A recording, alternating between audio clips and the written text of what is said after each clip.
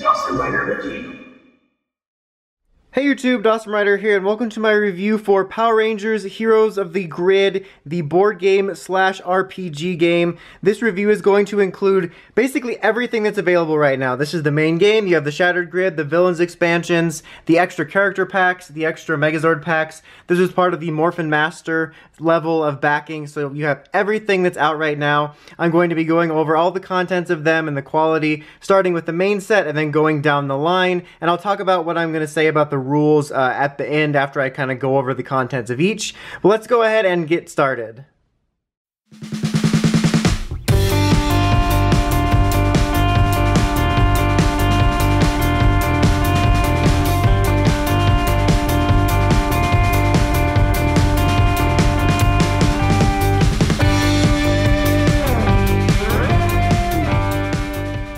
Okay, so here we have the Core 5 Ranger figures. As you can see, they're not painted, they're just individually colored pieces. Kind of remind you of the chess pieces from In Space, right? When they were just like these colored blocks of Rangers. But they're actually pretty well sculpted. Like, I really like the look of them. I like the style of them. I mean, it would be cool if they were painted. Like, I get some people like to paint their RPG figures, but it's like, paint it for me. I'm not your maid.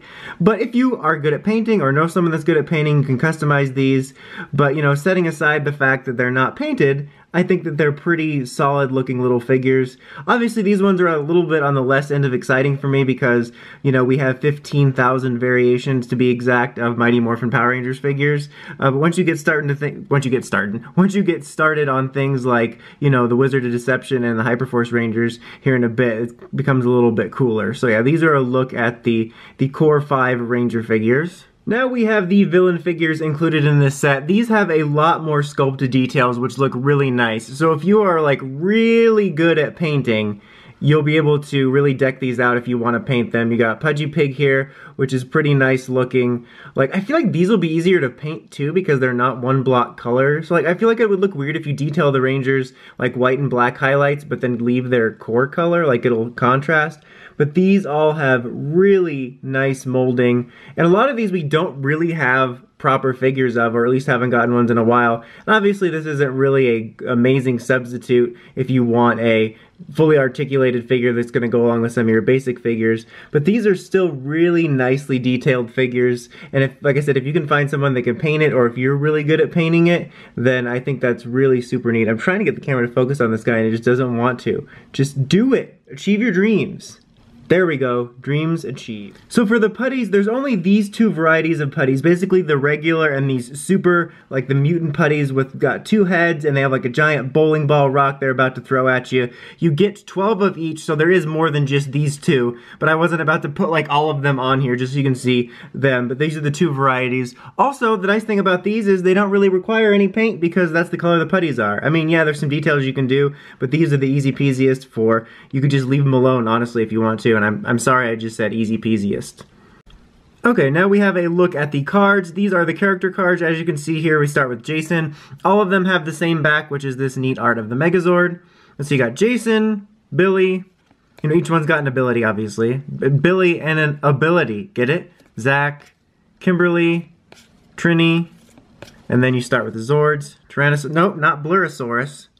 Tyrannosaurus, Saber-tooth Tiger, Mastodon, Triceratops. Like, does anybody else just hear that in their head, like in order? Pterodactyl, and then Dino Megazord, and then back to one. Now we have like the hero attack cards. Obviously there's going to be some duplicates. So you got Blade Blaster, Mammoth Slam, which is just like an attack, Power Axe, some are based on weapons, some are based off of, well, attacks, Reckless Blow, some duplicates of that, Smooth Moves, Sweeping Strike, let's move this a little bit closer. Blade Blaster again, I don't know why those are separate. Counter Jab. Knowledge is Power. Mighty Maces. Is that what it says? Yep. Power Lance. Tactical Strike. Acrobatics. Arrow Shot. Blade Blaster, why are you separating those? Flying Kick. Power Bow. Take Aim. Blade, Blade Blaster, I swear to God, you guys need to stick together. Block. Lead the charge. Power Sword. Team Tactics. Tyranno Slash. Bl Blade Blaster. Twin Fang Teamwork, Precise Strike, Precise Strike, Saber-Tooth Strike, Saber-Tooth Strike, that's really cool art. Tenacity, and then you have these villain cards here, which is going to be more. So you have Putty Patroller, multiple cards like that. And their backings are based off of location. So like right here, Angel Grove Park, Ernie's Juice Bar. But then the rest of the backings are just this PR Lightning Bolt. Speaking of villain cards, as you can see here, these are the regular, like the full stack of villain cards. Those came in the Heroes pack, but these are Super Putty Patrollers, not Ultra. But these are the ones that are actually in the villains deck. And you can see that there's different variations on the number. Then you got the individual villains. You have Bones, Nasty Knight, Madame Woe, Pudgy Pig, Rita Repulsa, and then you have the cannon fodder. You have their attacks, leaping attack, flanking. I was leap attacked by idiot in the projects. Swarm attack, putty pummel. It's pretty cool art too. Regrow, engulf, swarm attack, chain lightning, I guess you can read, but cruel laughter. It's better than me just sitting there silent, right? Right? Right? Which is curse. Shadow binding, wicked hex. Where's Charmcaster? Teleport. That's really cool. I like that. Deadly claws. God, the art on these is really cool. Brain lash. Well, that almost looks like that iconic cover of Bane breaking Batman's back, except it's like her doing that. Madam Woe. Breath of Death. Night Slash. Lion Shield. Smash and Slash. You know how it is blade beam, butter knife cutter, salad fork stab, ravenous hunger. That's pretty cool because it's, you know, replicating what they did in the show. Eyes laser, skeleton sword, skeleton sword, gravedigger slash, and regeneration. And then again, you have their individual cards have art based off of who they are, which is super cool. They almost look like tarot cards, don't they? Like that's kind of cool. So you got each individual art for those. Madame Woe's art. Rita Repulsas, Putty Patrollers, Super Putty Patrollers, just kind of general villain cards for like boss cards, like a, you know, a general kind of lineup is what I meant. And then the location-based ones. Then of course we have all our game-related pieces. You have the board here, like, and then you know the backing. That's like the most interesting part of this whole box really is the backing of that. But you got your board, you got your location cards, Angel Grove High, Angel Grove Park, Industrial District, again, where's the warehouse district, Ernie's Juice Bar, and then on the back of them, you have like information instead of literally just a picture that tells you what their individual, you know, not abilities, that's like a weird way to say. What's the ability of Ernie's juice bar? It's got super juice powers. And then here's obviously all the tokens you're going to want to pop out. Like, you're not just like, here, I'm going to put my tokens on the board. But I'm just kind of waiting to do that until I actually play the game and then organize them into the little baggies they give you. But you got all your tokens. I don't know why I flipped that around. It's like the same thing.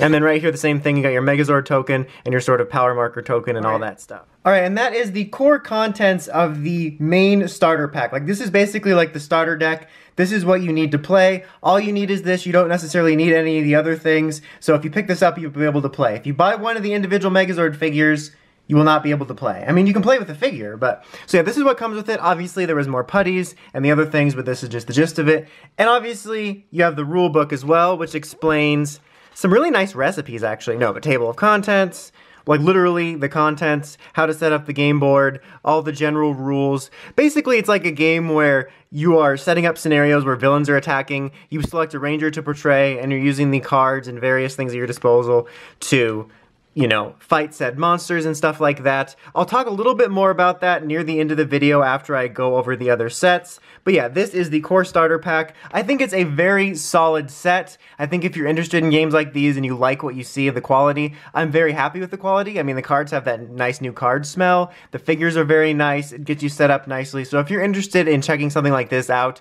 I can definitely recommend picking this up. It's really a neat set. But now let's go ahead and take an overview look at the various expansions starting with Shattered Grid.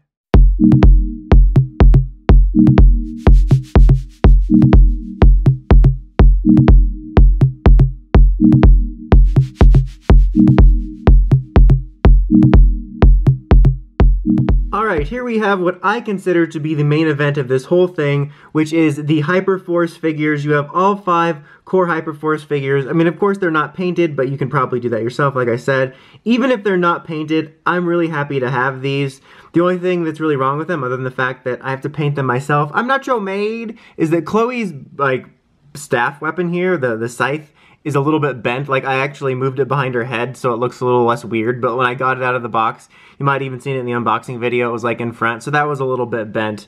But these are really cool little figures and literally the only official Hyperforce figures we have right now. So even if they're unpainted little blocks and I'm too chicken to try to paint them, I'm really happy we have them. I think it's really cool that they gave these guys attention. It makes sense since they were given attention in the Shattered Grid final battle, which is what the set is based off of. Would have been really cool to also get their the Kronos version of their Megazord, but hey, I'm not complaining. I think this is super neat that they got an expansion role or a role in this expansion, and I'm really happy with these. I think they're really nice little molds, and you know, they'll be even better if you're someone that's, you know, skilled at painting. And here we have the other figures that are included in it. It seemed a little bit miscellaneous, but I didn't want to split it up amongst just villains and literally the only other two Ranger figures.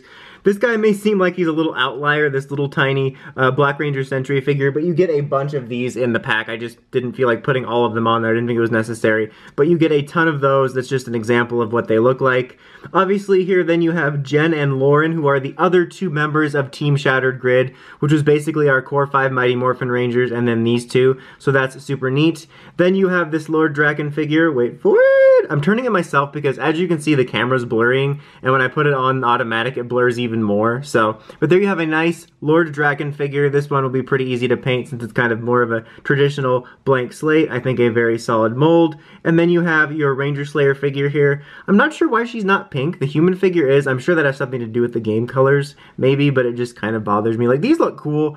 I almost kind of wish in a way that they were all gray now, just because that looks like almost the Geo statues, like they're frozen in you know, time or something. Now we have our cards. Here are our traditional character cards. All the backs are yet again the Mighty Morphin Megazord to keep things together. You got Marv, you got the Goat, Vesper, you have Jack, you have the other goat, Chloe and her burritos. The burritos aren't mentioned though, or are they? Nope, I was hoping they were mentioned. Maybe, no, that's a diamond, not a burrito. Then you got Eddie, again, unfortunately no Joe. And then you have Jen Scotts, Lauren Shiba, members of Team Shattered Grid. And then this is my favorite part. Really cool art of the Hyperforce Zords. Lion Hyperforce Zord, Serpent Hyperzord, Ram Hyperzord, Cerberus Hyperzord, Phoenix Hyperzord, and then the Kronos Hyperforce Megazord, which is their Megazord combined with other bits from the final battle. That was the one I was referring to, and I said it would be cool to have a figure. Jen's Time Flyer, the Bullzord for Lauren, and then back to one.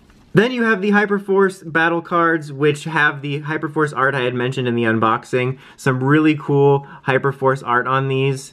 And you get to see like a look at their weapons. Like there wasn't concrete photos of their weapons, which is neat. Like you kind of had to hunt them down. Here you have the Cetus Lapidus blaster and the Cetus Lapidus claws. But I really love the art on these. I'm just kind of like not annoyingly reading all of them, just kind of letting you read them so I'm not just talking at you, but now I'm talking at you. So I don't know, this is really cool. This is honestly my favorite part is just all the really cool Hyperforce art. That was the art that was released early. They released blues and uh, blacks and I think yellows as well. So like that was super cool like ahead of time. And some of these attacks obviously, well a lot of them are from the show, which is really neat.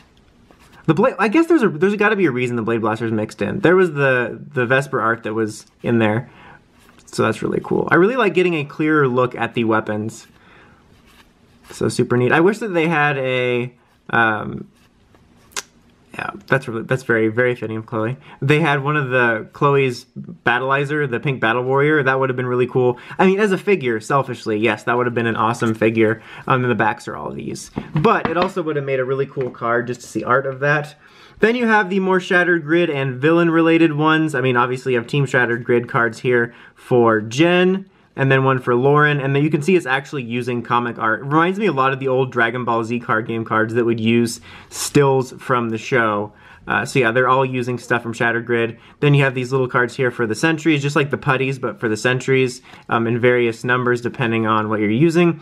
Black Dragon, who is a precursor to the Drakkon storyline in general. Ranger Slayer, Lord Drakkon, and then you have their associated cards after you get past the Team Shattered Grid stuff there. So you got some cool Ranger Slayer art. Nice mix of kind of original art for this. There's Black Dragon punching the Dragon Zord in the face. And, you know, comic used art. So, very cool. We are reaching the end here. There's Lord Drakkon card. Alright, and then the backs kind of like the other ones, you have ones associated with each character, like Lord Drakkon, Black Dragon, using some of the same art, Ranger Slayer, Mastodon Sentries, and then uh, some of the group ones like Monster, Resistance Hideout, which is cool. I like that one. Zord Graveyard, and then the generic backings here. Okay, so that's the core contents of the Hyperforce set. Obviously, you get location cards too. I mean, they're not cards, but you know what I mean. Zord Graveyard and the Resistance Hideout. So it's the same art you saw in the cards. And then this bit here for the, the mat. I haven't had my muffin yet, mat. But you can see it's the Time Force field where the, you have the Megazord transporting. Was it the Transport Megazord or something? Transport. But it looks cool. And oh, obviously here, this isn't like the instructions. It's just kind of like introduction. It shows you what you get. As I mentioned, 12 foot soldiers, so it's not just the one. Obviously, just wouldn't make sense to put the 12 on there. And it talks about some various things that this adds. Table of contents, Hyperforce story, little, or, or not, well, not Hyperforce, Shattered Grid story, there we go. But honestly, overall, I really like this set. I think I mentioned a couple times, it's my personal favorite of just the whole lineup. Like, even if I wasn't interested in this game, I would probably pick this up because I'm a big Hyperforce fan, and I really like having these little figures, even if they're not painted, and I love the art on them. So, I mean, if you're playing the game, if my personal recommendation is this one set based on my personal bias, I think it's really neat. Uh, but even if you're not interested in it, and you really are desperate for something Hyperforce like me, I think it's at least worth a look. Like, I don't know, I just really dig this set. Uh, but let's move along to the villain one, which is arguably better in an objective sense.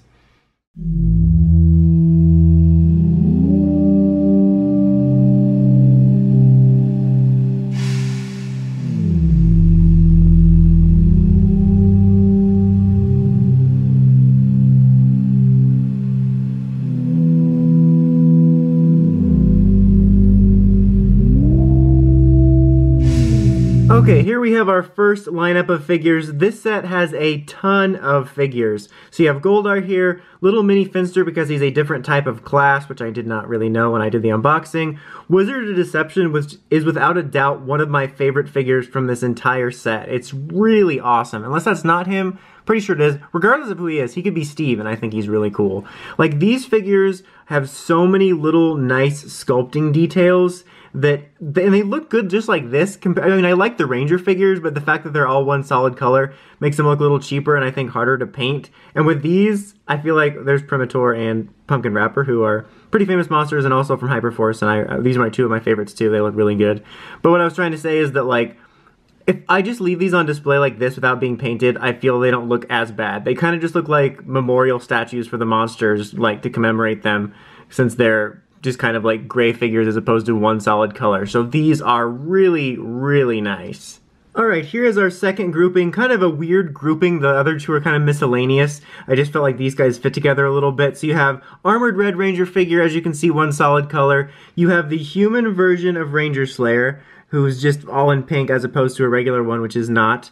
Couple henchman figures, you have the putties with the sort of blade morph attachment. Alpha 5 here, who's also smaller, similar to Finster, which is kind of explained in the cards. He's the, like a little helper character, there's like a special card for him and stuff like that. You have the Mutant Putty, which we've seen before. Here's a Tenga Warrior. Again, you get a bunch of those. I'll have the sheet probably in the, the wrap-up, and you'll see how many you get. But these are ones you get a ton of. I'm just using the one example. And then obviously, Green Ranger here. All right, we got one more grouping of figures for this set. All right, here we have our last lineup. White Ranger Tommy here is our only Ranger in this lineup because they were all in a row in the set, so I grouped them together. But his looks pretty good. It looks a little less weird than the super bright ones, but I think it'd be easier to paint as well in terms of the smaller amount of details, but it's a pretty solid looking figure. Again, the villain sculpts is really where it shines. You have Lord Zedd here looking really, really good and then until he gets blurry on there, he's he's embarrassed. Then you have Green Ranger Tommy also done up in the gray style there, kind of giving you a, a, look at what it would be like if the Rangers were uh, all gray figures instead of just the, the ones based on the Ranger color. You have Rita Repulsa from the Go-Go comics in her special outfit from that, which looks really, really cool.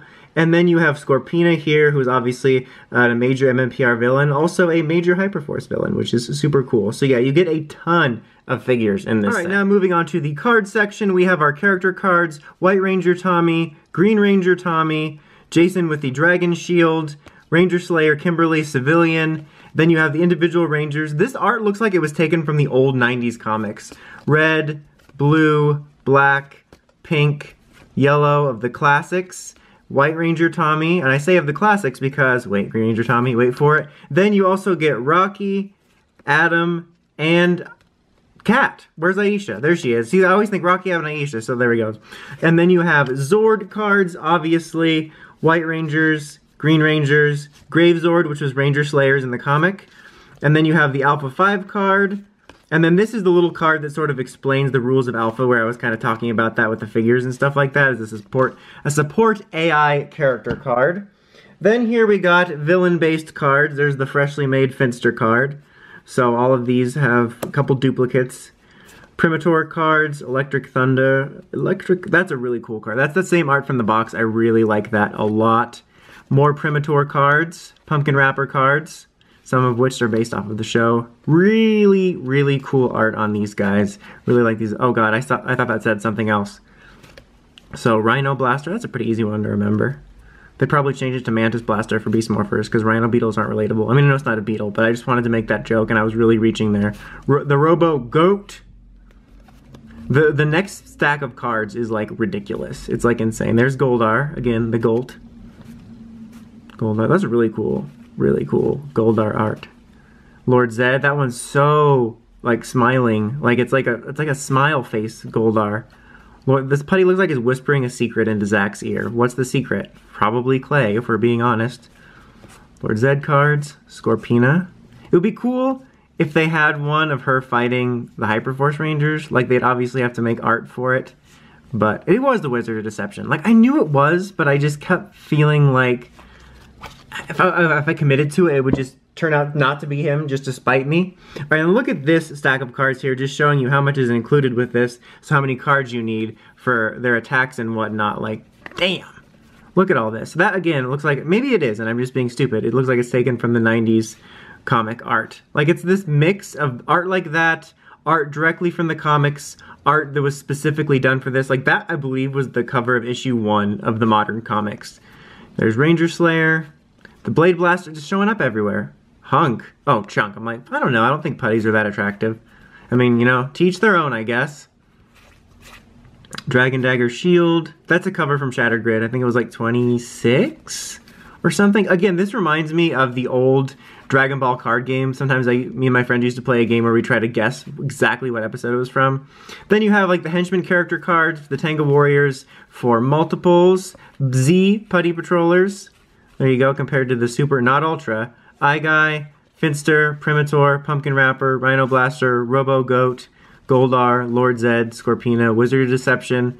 Then you have all the villain-based attack cards. Sorry if I'm going kind of fast. Like, there's just a ton to go over, and I don't want to keep you guys here forever. Like, you can always pause it. You know, you can pause. I just paused myself. That's how powerful I am. That was, I don't know why I said that. That was weird.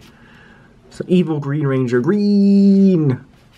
That's a really weird, that helmet looks really weird on that. I recognize that art too from the comic. Eye Guy cards, and then we'll check out the back here in just a second. That's pretty familiar based off of the show. And then, you know, on the back you have the individualized villain art for whatever card they use. Evil Green Ranger, uh, Z-Putties, Tenga Warriors, the villain cards. We've seen a couple of those before. These villain lineups. You got the, the locations for this set specifically, and the generic card back. Alright, so here is our overview shot of the set. Obviously, we don't have all the individual henchmen. Like, you get at least five more of these. You have like a dozen plus of the Tangas and these putties and stuff. So there's a ton more. It's just like, you know, you don't need to see all that. And it takes me upwards of two minutes to put all them in here. And then obviously you get these little physical tokens in this little baggie as well as well as your location cards. I keep calling them location cards, but you know what I mean. Shopping mall, another Mind Flayer joke there. Dockyard, power plant, stone quarry, and then on the back of them is their, like, you know, different details and stuff like that. So this is all you get with that. But yeah, so overall, it's kind of weird because I mentioned Hyperforce is my personal recommendation for an expansion because of my, well, personal preferences and what I like about it, but I would definitely argue objectively this is the bigger bang for your buck. This set is really a lot. You get a lot of awesome figures, both for the game and just for how they look. Just, a, I think, a ton of content out of this. So, I mean, it's really ultimately up to you, but this set is definitely worth it. Like, I was really happy with the set. Even though the Hyperforce one I thought was a little bit more neat of a niche thing, this one's a little bit more bang for your buck. Beck?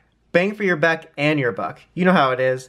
All right, now let's move on to checking out the villain and foot soldier sets.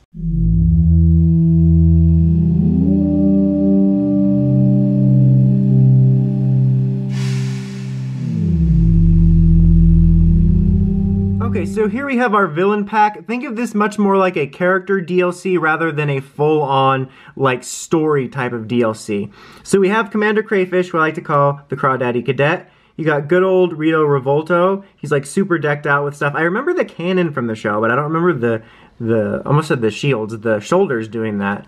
You have Unicorn McUnicorn Face right here. Um, even though I just looked at the cards, I'm spacing his name. But you have him, for sure, you have him sitting there. And you have good old Master Vile sitting here. And just in order to save time, instead of cutting away to a, a different segment, these are the cards that they come with. This is all you get is just these, uh, the figures and the cards. You know, no placemats or anything like that. So like I said, think of it, there we go. I said it the whole time. Pluticorn. That's exactly what I said. Check the receipts. No, don't check them because they're wrong. Uh, so yeah, it's much more like a character uh, DLC rather than a full-on like sort of story expansion that's a much more like expansive, well, expansion. That's a really cool piece of art. I remember that from one of the comic covers, but I love me some Thunder Megazord, so it's a really cool bit of art. And then you have the individual art on the back here of the uh, individual characters and sort of this one right here for like the, the general villain cards. Master Vile's art is cool. This is cool. Let's go back here. There we go. The Crawdaddy Cadet. There we go. All right, now let's move on to the henchman.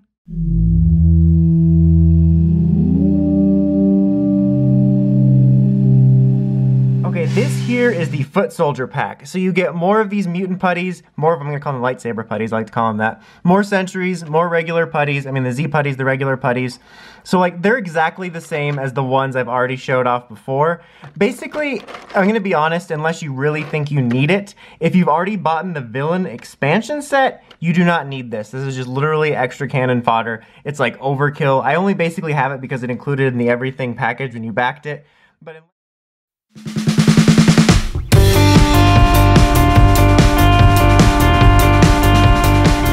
Alright, and here we have the Deluxe Megazord and Cyclopsis figure, these large scale figures, which again, much like the villain figures, are very nicely detailed. Really great sculpt detail in here. I think people might have a lot of fun painting them. As I had mentioned in the unboxing, the sword is removable too, I guess, for some reason. Like, he just kind of looks like he's shaking his fist in anger if he doesn't have it, but, you know, that's kind of neat, I guess.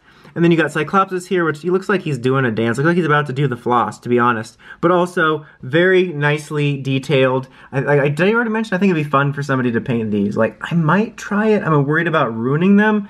But I think with the bigger target, it makes it seem a little bit easier. But these are both really cool figures. I really dig them a lot. I love the details on them. And what I like about them, though, is if you are going to display them when you're not playing or if you just would like them, if you're worried about painting them and don't mind this look, they kind of just look like statues. Like either they got turned into statues or, you know, they're a, outside a museum or something. So it looks a lot more presentable like this if you're afraid of painting than just these solid colors. Cyclopsis does come with cards like usual. Megazord does not. He does not. So you get some really cool art there on that. He looks like an, e the more I look at the art on this, like, like you look like an evil White Blaster Beetleborg in that pick. Like, that's what he looks like. You get some, I like how, boom, because these work like Exodia, so you have all the different pieces like that, so that's why you have those like that, but it makes for really funny backings of cards and stuff like that. All right, that is it for the main coverage. Now let's just go ahead and talk about the rules a little bit and a final verdict. Real quick, I almost forgot to mention the most important part of the set, which is the dice, even if they won't dimension for you. But this is, I just kind of keep them in the box because I just, just got them back in there, so I didn't want to take them all out. But you can see the gist of it right here. It tells you how many you get of the different colors. But other, they're just pretty much par for the course of these type of dice you have in these RPGs. Like, there's nothing, and you get these ones extra too uh, in one of the main sets, but there's nothing really special about them that I think differentiates them. Sometimes you'll see dice like these in other RPGs where they'll kind of tailor the symbol to be more related to the property, but these are pretty par for the course. But obviously these are also included. I like the packaging. Okay, that is pretty much it for the main review of this, this whole huge space that's really hard to fit everything in. So as for the rules, as I talked about after my main uh, go over of the core game, basically you're picking a ranger and you're role playing as them and you're you're setting up the game based on locations and fighting different villains. And obviously, depending on what you have, whether it's this or that, you'll have more possibilities of characters and villains and attacks and all that sort of stuff. I'm going to do a, a sort of more detailed, or at least I plan on doing a more detailed kind of rule video. I didn't want to do it in this one because the video is longer enough already outside of this basic stuff. And also because I want to get a chance to play it first so I actually learn how to better play it. I don't want to misinform you guys by getting something wrong because I'm just very sterilely reading about it once I get a chance to play it. As I mentioned, me and the RR podcast guys are planning on doing a live stream sometime soon-ish where we play it, so I'll link to that. And then after I get a chance to play it, I'll feel confident about talking about how how to play it more. But overall, I think this is something really, really cool. And if you're a fan of RPG games like that, I can definitely recommend giving it a look. If you're kind of like a weird hybrid like me, where you're interested in it and you also want to collect the figures, I can definitely recommend like picking up this and maybe one of these sets to get the figures. But I think it's something at least worth looking into if you like the figures or you're into these type of games. I think it's a really nice quality set. But that's about it for this one, guys. Until next time, don't forget to like, comment, subscribe, and of course, don't forget to climb the steps and ring that bell to notifications from my videos so you can see my further coverage on this. Thanks, guys. Till next time, DosmRider, signing out.